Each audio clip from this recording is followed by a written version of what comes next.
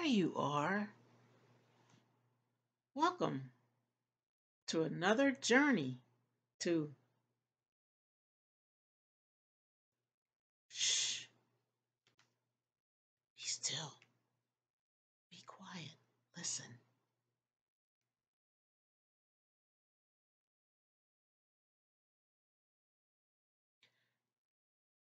Have you noticed that there have been a couple of people following us on our journey?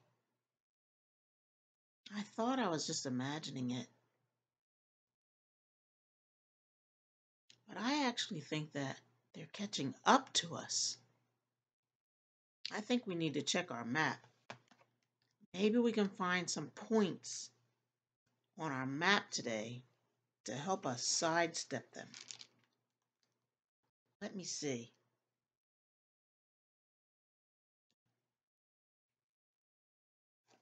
Hmm, I do see something. Ephesians chapter 2, verse 4 is highlighted. It says, But God, who is rich in mercy because of his great love with which he loved us, Do you think that our map is showing us that someone rich is following us? Hmm. Maybe we should check this out a little more. Let's see. Oh, there's another highlight on our map. Jeremiah 33, verse 11. It says, the voice of joy and the voice of gladness, the voice of the bridegroom and the voice of the bride, the voice of those who will say, Praise the Lord of hosts. For the Lord is good, for his mercy endures forever. And those who will bring the sacrifice of praise into the house of the Lord. For I will cause the captives of the land to return as at the first, says the Lord. Wow. This sounds like a married couple are following us. Maybe? giving praise to the Lord. Maybe they want to join us.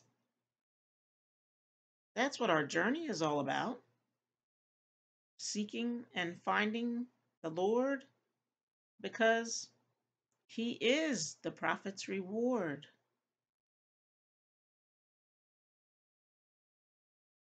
Let's check our map again. Psalm 136, verse 1 is highlighted. Oh, give thanks to the Lord, for he is good, for his mercy endures forever.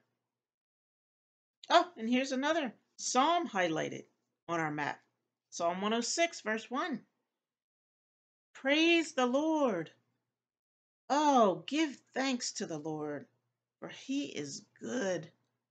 His mercy endures forever. I wonder why these map points are so similar. Hmm. Wait a minute. I see another point highlighted on our map. Exodus 33, verse 19. It says, Then he said, I will make all of my goodness pass before you, and I will proclaim the name of the Lord before you. I will be gracious to whom I will be gracious, and I will have compassion on whom I will have compassion. Wow.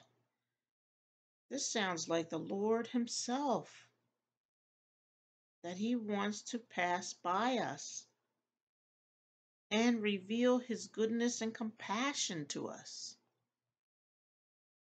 Wow. Maybe we shouldn't try to get away from these two people.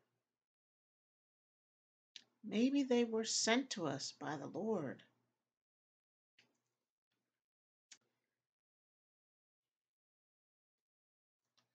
I see one more point on our map, another psalm. Psalm 23, verse 6. Surely goodness and mercy shall follow me all the days of my life, and I will dwell in the house of the Lord forever. They really are following us. Goodness and mercy. And they were sent by the Lord to us. I really want them to be with us. I want them to catch up to us on our journey, to overshadow us, to overtake us. In fact, I want to receive them and embrace them.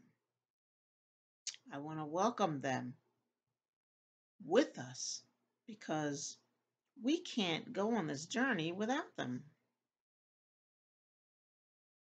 Yes, the Lord is good, and his mercy endures forever. Let's review our map points for today's journey. I'll try to get them in focus for you.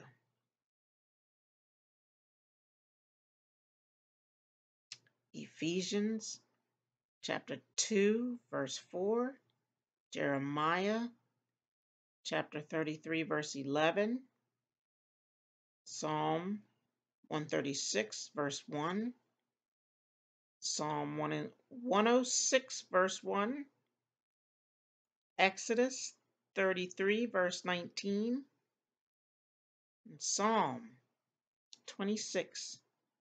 I'm sorry, Psalm 23, verse 6. Those are our map points today.